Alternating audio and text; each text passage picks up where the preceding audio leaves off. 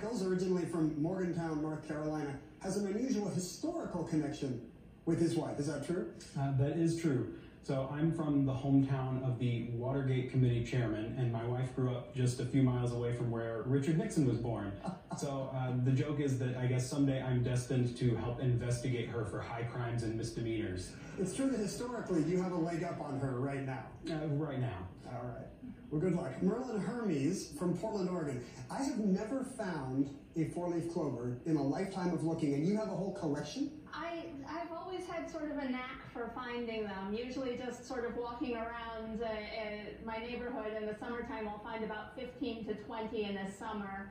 And I even uh, candied some for the top of my wedding cake using a technique used for candying violets. Well, I hope they bring you luck. Well, thank you. Steve Crupi, a retired police department information supervisor from Las Vegas, Nevada, has been to Botswana a remarkable number of times, more than most people, I think. Yeah, well over a dozen. Botswana is by far the favorite country for my wife and I to go on safari vacations.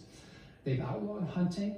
They've set aside a massive percentage of their land for wildlife preservation. It's one of the last places in the world where you can go and truly feel like you're in a true wilderness. Thank you for the tips. Merlin, we're going to get right back into the game. You're going to make the next selection for us. Okay, uh, two letters ends in E for 200.